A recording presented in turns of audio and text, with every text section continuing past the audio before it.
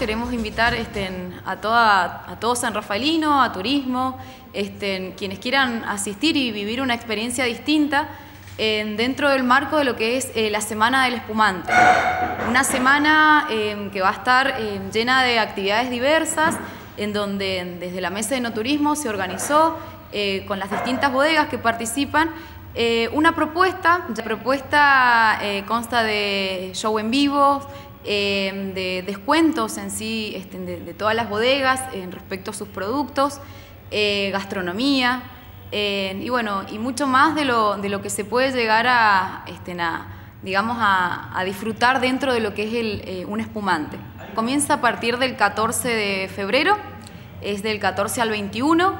Eh, hay shows que no tienen costo y hay shows que sí y lo que es la parte de gastronomía tiene un costo, este, un costo adicional. En la página de la Cámara, www.cámarasanrafael.com.ar, eh, tienen ahí toda la grilla de actividades en detalle. La idea es que nos acompañen, que apostemos a lo que es el espumante sanrafaelino, saber que San Rafael es tierra de espumantes y que también, eh, bueno, tenemos eh, mucho para ofrecer y esto es una de las tantas. Son bodegas que tienen espumantes y las bodegas que no tienen espumantes eh, acompañan a las bodegas que cuentan con espumantes para poder este, justamente apoyar lo que es el movimiento de lo que es espumante, quizás alternando o, proponiendo, digamos, lo que, lo que tienen complemento para, para, ofrecer. La idea de proponer este evento de espumantes es la idea también de acercar los espumantes a la gente, que no sea una bebida exclusiva o inalcanzable. En la grilla donde figuran los eventos, figuran los